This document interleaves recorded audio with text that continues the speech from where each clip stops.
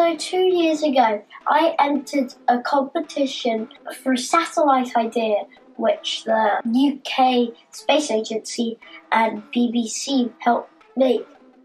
I got second in this competition, and you had to like come up with an idea um, to use this satellite to help the world. So obviously, I wanted them to monitor like poachers to see if there's poachers killing animals. So I love animals. And I got second in this competition, and this is the design I did. So since I got top five, my name was engraved on the satellite, and this satellite called the Prometheus 2 launched in Cornwall.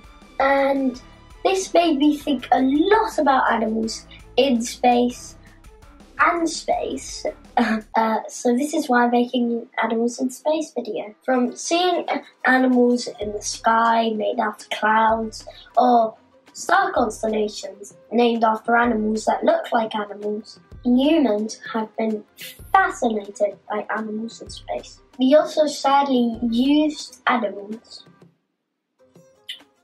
to for scientific research. And our knowledge of space would not have been possible without animals. When you look up in the sky, you'll probably be seeing a star constellation named after animals. There's like the Big Bear, there's a scorpion, there's loads. Now, a constellation, a star constellation, is a grouping of stars. Now, most of the star constellations that we know came from the Greek and Roman cultures. So, most of the constellations are named after Greek and Roman stuff, like objects from their stories, animals they look up to. Yeah, and they each and every one of them symbolize something. Now, over time, loads of people from around the world, India, Africa, everywhere, basically, started drawing pictures of these star constellations. And most of them are related to animals. Now, let's start with prehistoric times. Did you know that 40,000 years ago, ancient people used stars to tell the time and also to guide their way back home. Now we know that some caveman paintings aren't just depictions or drawings of animals, they're drawings of the star constellations up above. And this is thanks to researchers at the University of Kent and Edinburgh in Scotland. And all of the caves that they analysed represented the same drawings of the animals in the sky. Now, the Native Americans had incredible astronomy, mind blowing astronomy skills. They named a ton of star constellations after bears, otters, wolves, snakes, ravens. Awesome. Now, the Aztecs also made tons of animal star constellations too. The, most, the two most associated were the eagle and the jaguar, both of which leapt into the great, great fire to give birth to the sun. Now the deer could be seen carrying the sun, or the rabbit could be seen carrying the moon. These show depictions of like hummingbirds and cows. Now the Mayans also had tons of animal depictions, like jaguars, spider monkeys, tigers, and lots, lots more. And you can see these animals engraved to like the amazing pyramids. In India, Jantar Mantar Observatory, they have tons of depictions like cows, tigers, there's lions, scorpions, cows, and much, much more. For a while now, we have been making maps of star constellations, and I'm going to show you some maps of star constellations too. Now, I'm going to show you um, some stuff from the 16th, 17th, and 18th century. Uh, now, this stuff is maps of star constellations. So let me show you right now. And as you can see, there are loads and loads of animals on the maps. So now let's talk about how animals uh, help humans learn more about space. Now, in Paris, Versailles, um, they sent a duck, a chicken, and a sheep on an air balloon to go up to hopefully go up into space. And they came down and survived. And that was in 1783. Now, it was only in the 20th century when uh, humans started going up to space, like building rockets and stuff. But really, all the astronauts did, they should be celebrated, but they took all the credit. They're animals who went up to space and died. They are the true heroes. This is why we know so much about space. Animals. We wouldn't have been able to send humans up to space if it weren't for animals. So we should thank them as well. Now, all of the books about space, most of the books about space, they don't include these animals. Now, in 1947, humans sent fruit flies to space. Now, do you want to look how small they are? They're tiny. if they need an astronaut suit, it's going to be like one millimeter long.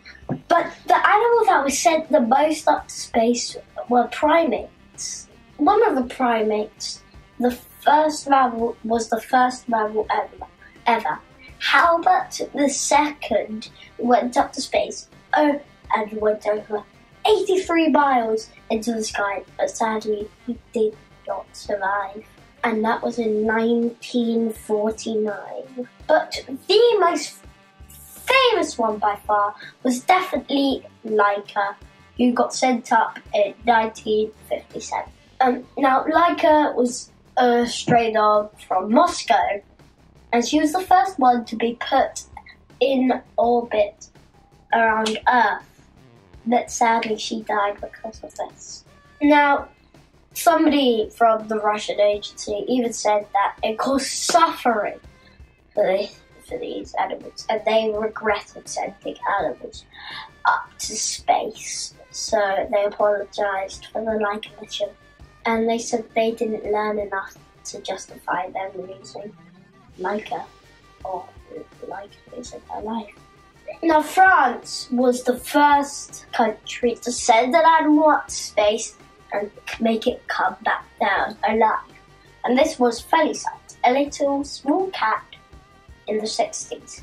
Now her flight only lasted 10 minutes, but they even bought, made a statue of that one. So they also sent two turtles to space in 1968, and they even sent two spiders called Anita and Arabella I'm a bit disappointed. I don't know where Spider Man is on this mission.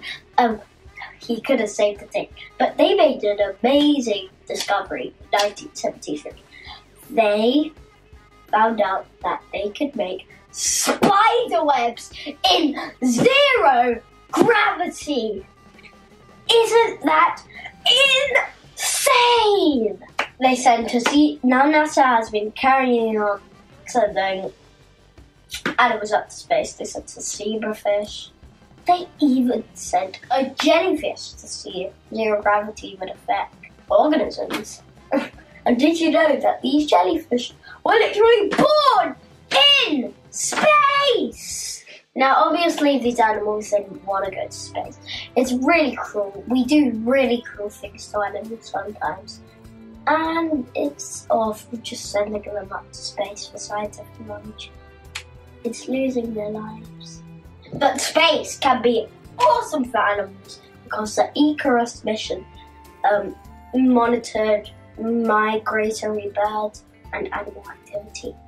Now, satellites can help animals a lot. Also, for our research, research we can learn new things about animals. So space can have a lot of benefits to save endangered animals. I hope you enjoyed my video. I have a couple books I want to show you. First one, obviously, is Black Dot in Space that I wrote by by myself. I'm not going to give you too many spoilers, but it's about animals going into space. It's about a cheetah going into space, and he discovers a new planet. It's an ebook, so buy it on Kindle or wherever you can buy it. Basically, all the money that I get from this will go onto uh, will go to a cheetah conservation fund. The next book I want to show you is Laika the astronaut. So obviously, it's about the dog Laika who basically went to space. And uh, in this photo, it's him as a stray dog.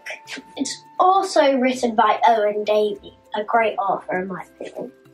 The next one, probably one of my favourite books of all time. Uh, this is called Professor Astrocat's Solar System. And it says, Welcome Planet Explorers and it's one of my favorite books. You see, um, it's just the cat is the sun. I used to read this all the time, and it also gives you tons of cool, fun facts. And they also start to really overheat once they go to the sun. I mean, they're wearing sunglasses after all. That's a good sign. And the final one is a book that I got for my birthday called Seeing Stars. Now it's an awesome book where you can see like star constellations, for example, the hare. It's an awesome uh, book because you can see this. There's the greater dog. Oh, there's tons. There's the bull. There's and most of these are just animals. Isn't that just and my star sign is Taurus, so yeah. most of the animals, most of these are animals. And it shows you like the brightest star and the constellations. It's a great, great book. But yeah, all of the those are all of the books I have to show you today. I I hope you have a good day and I'll see you all next time. But one more thing, don't forget to like and subscribe. Bye!